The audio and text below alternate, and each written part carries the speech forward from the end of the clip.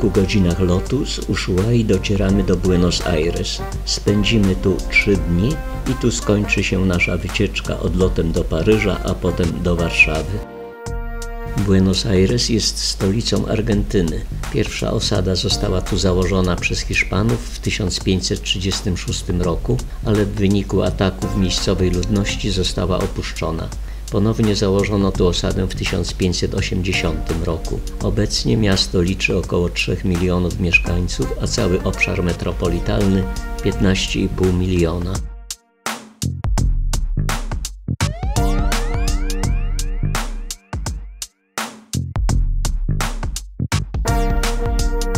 Krótka wizyta w jednej z licznych galerii handlowych.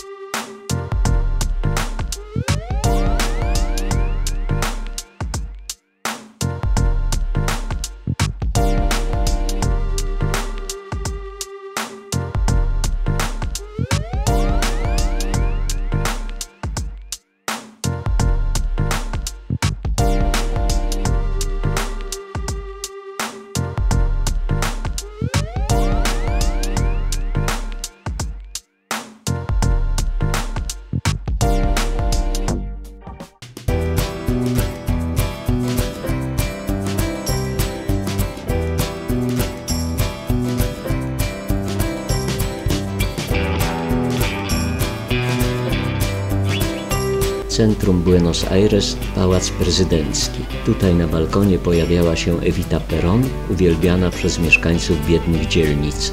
Stała się jednym z symboli Argentyny. Zmarła na raka w wieku 33 lat.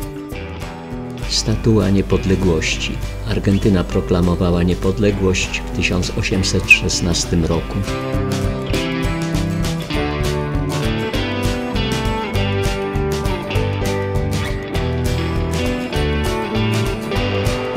Pomnik twórcy flagi argentyńskiej Manuela Belgrano.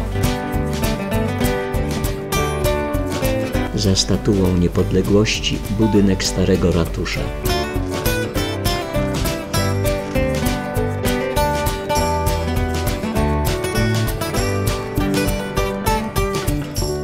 A obok nowy ratusz.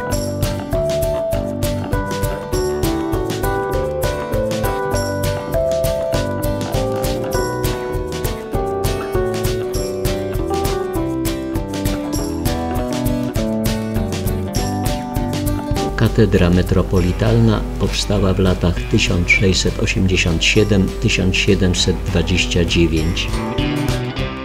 Fronton katedry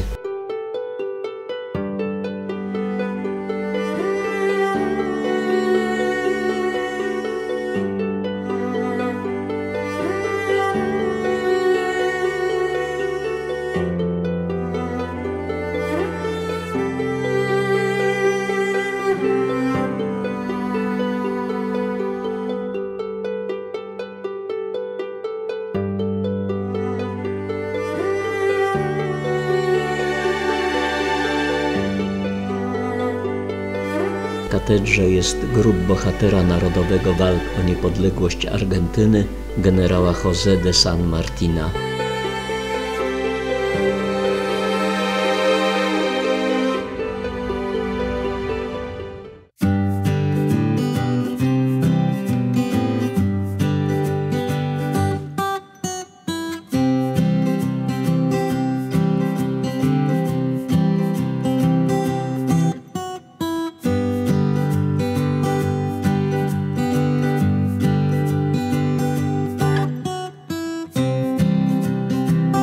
Fontanna przed gmachem parlamentu.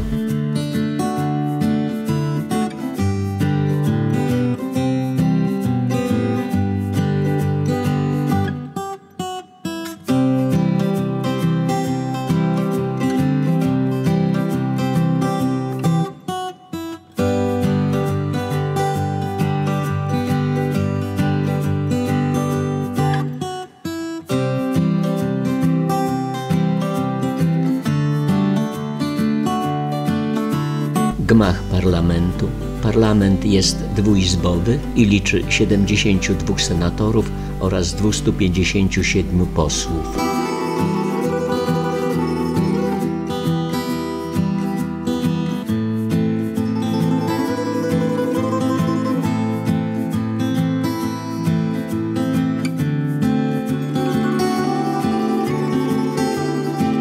Jesteśmy koło tak zwanej bombonierki, stadionu drużyny Boca Juniors, w której grał Diego Maradona.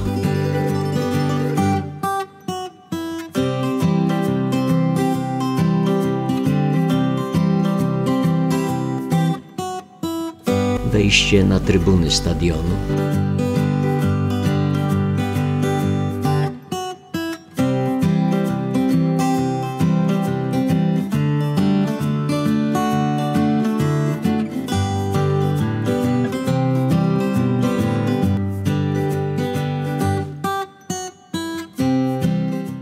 Niewielka turystyczna uliczka Caminito w portowej dzielnicy La Boca.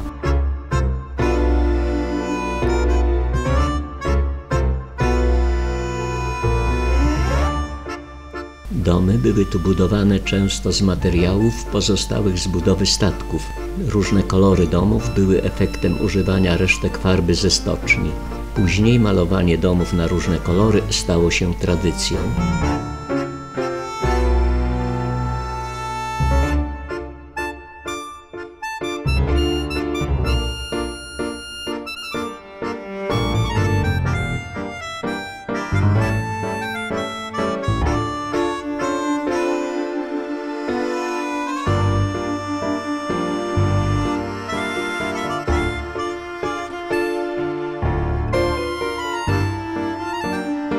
Uliczka od 1959 roku ma status ulicy Muzeum, której nazwa ma przypominać uliczkę znaną z tanga Caminito, skomponowanego w 1926 roku i cieszącego się ogromną popularnością. Wzdłuż ulicy rozmieszczone są obecnie dzieła argentyńskich artystów. Właśnie w takich biednych dzielnicach portowych ponad 100 lat temu powstało tango. Początkowo grywane i tańczone w domach publicznych, stopniowo torowało sobie drogę do reszty społeczeństwa.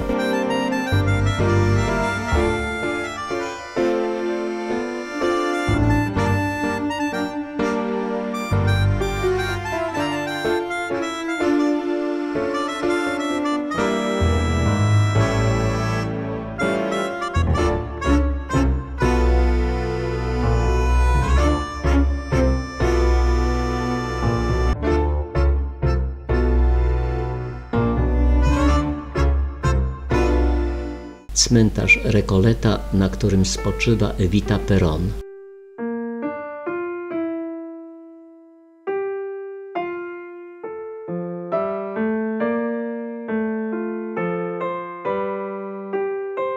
Są tu też polskie ślady. Na cmentarzu pochowano m.in. Izabelę Walewską, wnuczkę Napoleona, której grobu jednakże nie odnaleziono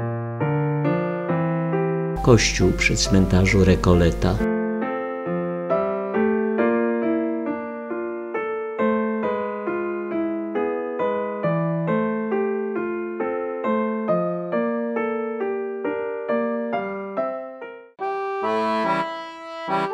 Kawiarnia Tortoni, w której podczas swego pobytu w Argentynie często bywał Gombrowicz.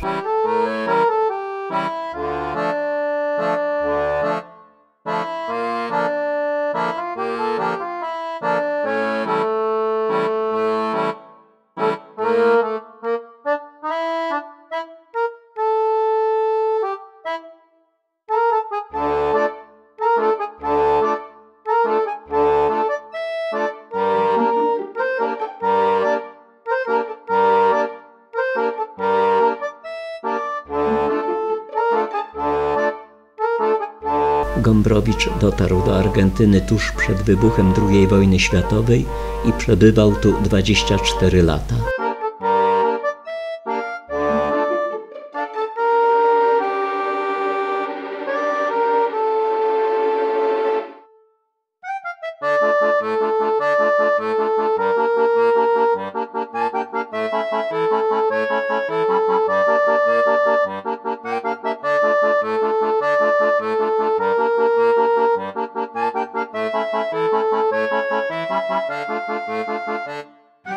Avenida 9 Lipca uważana jest za najszerszą ulicę świata. W najszerszym miejscu ma 140 metrów i jest podzielona na 7 do 9 pasów ruchu w jednym kierunku. Jej długość wynosi 1 kilometr.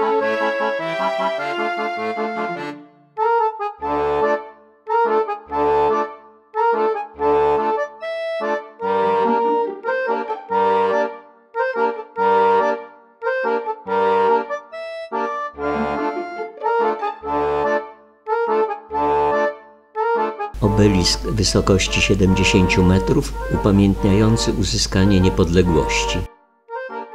Park na placu generała José de San Martina, bohatera walk o wyzwolenie spod hiszpańskiego panowania nie tylko Argentyny, ale także Chile.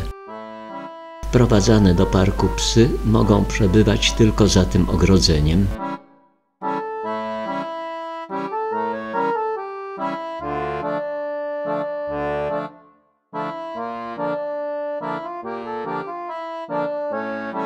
Wieża zegarowa podarowana Argentynie przez Brytyjczyków z okazji uzyskania niepodległości.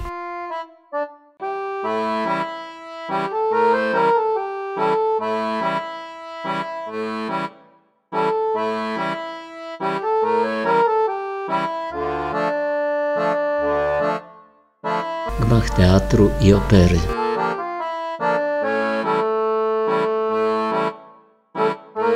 Widokiem na Avenidę 9 lipca kończymy nasz pobyt w Argentynie.